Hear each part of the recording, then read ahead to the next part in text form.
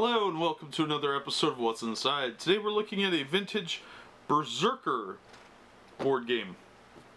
This is based on Fred uh, Saberhagen's Berserker. It's a science fiction book, obviously, hence the planet and spaceships. Uh, it's man against machine in a race for survival. Now, if you don't remember the book, well, you know, I can't really blame you. But it is uh, considered somewhat of a classic. It does still have a, a, following. It's kind of a hard book to find now, as I recall. I don't know if it's still in print. It wasn't for a very long time. But uh, this game is from Flying Buffalo, Inc. Flying Buffalo makes some really interesting stuff. If you're a role player and you've ever seen Grimtooth's Traps, you know who Flying Buffalo is. Or if you've played Tunnels and Trolls. Uh, they uh, That one came out, I think, through, or was distributed by them. Alright, so this was uh, product number 6101 from Flying Buffalo.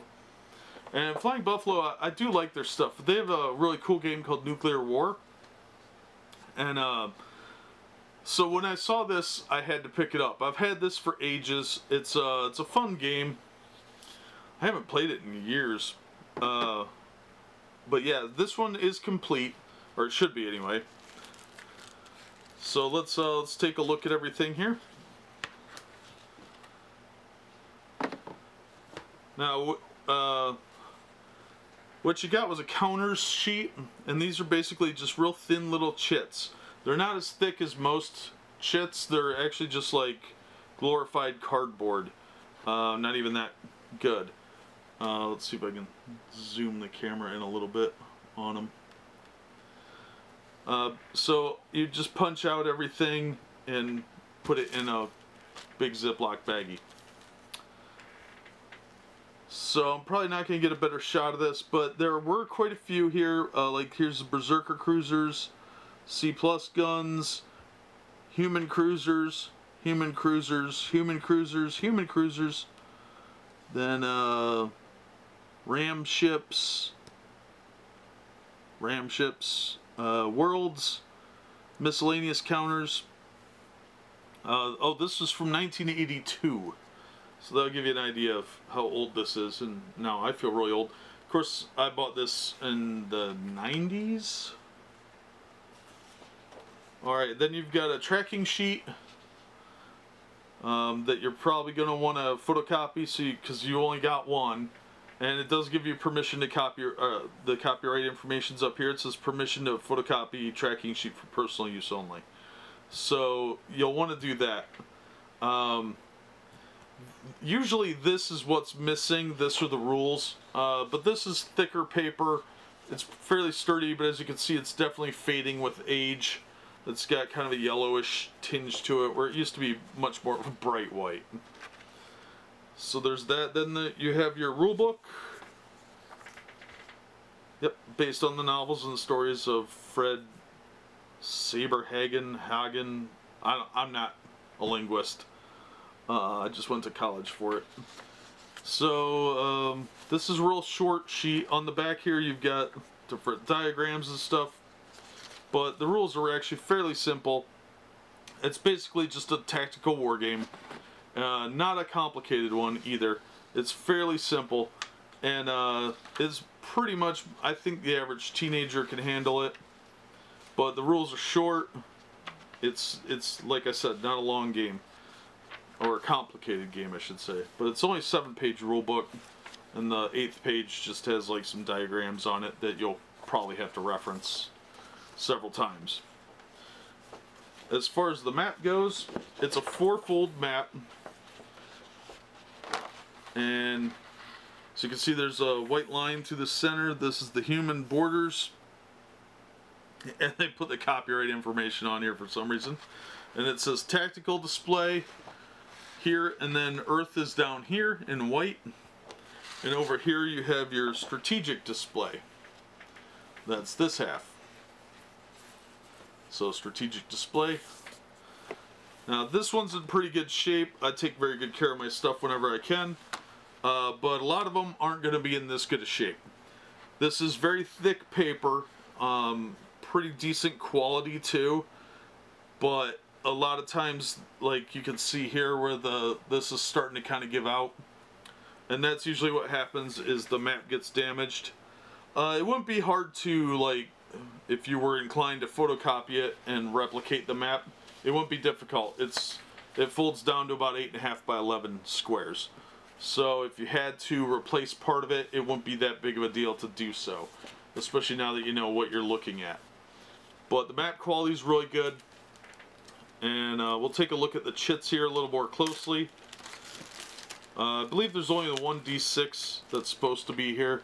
But let me adjust the camera and zoom in a little bit so we can get a better look at these if I can. Okay. Let's get the map out of the way.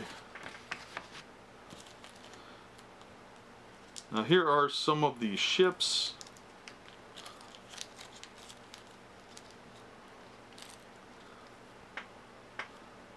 As you can see, they've got numbers on them. Uh, I believe these are all the same. Yeah. So uh, there's a lot of these little pieces that'll be in here. Uh, the important ones are going to be these, the actual uh, colored ships that I believe you had to cut out, if I remember correctly. Explains why they're all jagged. Uh, but yeah, it looks like there's... Uh, these might be stations, space stations, I don't remember. But there's three, six, nine of those. And then there's like uh, repel and border tokens. So there's there's quite a few little pieces to this. So you'll want to make sure that at least most of them are here and you can always replicate them later at, um, at your whimsies if you're so inclined. Um, mine's complete, so thankfully I don't have to do that. There are nine triangular berserker counters, the six-sided die. There are 240 die cut counters. So the, the chits, there's 240 of those, rulebook and map. And I want you to have kind of an idea of what to look for because some of them are multiple colors and some of them are just going to be like various little planets and stuff like that. So there's a lot here, a lot of little pieces that could easily be lost. As you can see, mine isn't even fully punched out because we never needed the other ones. So um, I, I, think what you could do realistically is just try and keep an eye and out and make sure that the majority of the pieces are here, especially like these berserker counters, because you're going to need these. Uh, these are very important to the game. So if you don't have those, um, you, it, the game's more or less worthless, because that's a pivotal part of the game. You could do without a lot of the other ones and just use representation or get some blank chits and draw the information on there if you have a few of them but you'll need at least some of each of the tokens but yeah, I mean, uh, the chits are the important bit. Uh, the map, it's a hexagon map, standard size for its time. Nothing unique about it other than what I showed you, the tactical display and the uh, strategic display. So the tokens, are the chits, are definitely the more important pieces. And of course the rule book and the, um, the other sheet that I showed you. So you'll want to go through and make sure that the tracking sheet is there, the rule book, the maps, as many of the tokens as possible, and definitely the 9 Berserker tokens, or chits, whatever you call them. Uh, the younger kids call them different things, uh, counters, chits, tokens, markers, pieces, whatever. They're all kind of the same thing.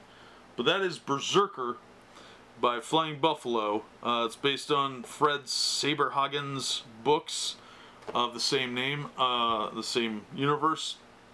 I like this game. I thought it was fun. If you like tactical strategy games and you don't want to play Starfleet Battles, uh, this might be worth looking into. You can still find it. It usually goes for about 15 bucks on eBay, maybe a little more.